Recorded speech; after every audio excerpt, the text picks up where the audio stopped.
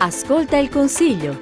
Il Parlamento del Piemonte alla radio. Ben ritrovati. Il Consiglio regionale ha approvato all'unanimità il piano regionale amianto. Obiettivo eliminare tutti i manufatti contenenti amianto entro il 2025, a partire da scuole ed edifici pubblici. 25 milioni di euro le risorse necessarie alla sua realizzazione. Silvana Accossato, Partito Democratico. Si pone l'obiettivo di dare soluzione allo smaltimento dei manufatti contenenti amianto, prima completare la mappatura dei siti, successivamente sostenere lo smaltimento delle presenze di amianto amianto eh, sarà necessario anche un'azione per lo smaltimento di amianto eh, dei siti privati. Massimo Berutti, Forza Italia. È un risultato certamente tangibile. Quello che ci lascia un pochino perplessi sono due aspetti di base. Uno, il fatto che non si può fare un piano amianto e naturalmente finanziarlo veramente in modo minimale e dall'altra è dove lo mettiamo l'amianto. Oggi ci sono più o meno 2 milioni e mezzo di metri cubi che non sappiamo dove inserirli. Una petizione con oltre 20.000 firme per il riconoscimento delle cure domiciliari dei malati non autosufficienti all'interno dei LEA è stata consegnata al Presidente del Consiglio regionale Mauro Laus che l'ha trasmessa a deputati e senatori piemontesi affinché assumano una posizione in Parlamento. Più di 1.600.000 pagine di 103 giornali locali del Piemonte dal 1846 ad oggi. Sono i numeri del portale giornalidelpiemonte.it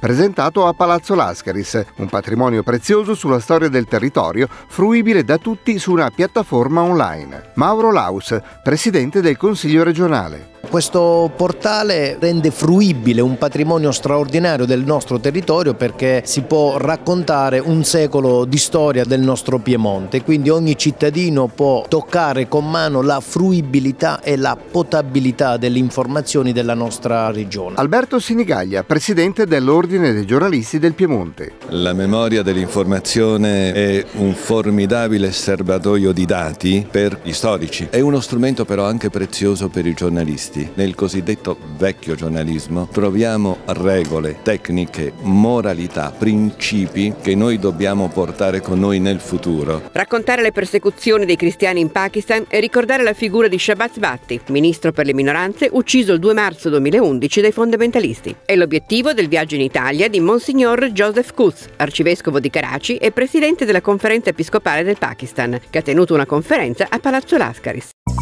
Hai problemi con i gestori di telefonia, internet, pay tv o cellulari? Il Corecom, Comitato regionale per le comunicazioni, offre un servizio gratuito di conciliazione. Numero verde 800 10 10 11.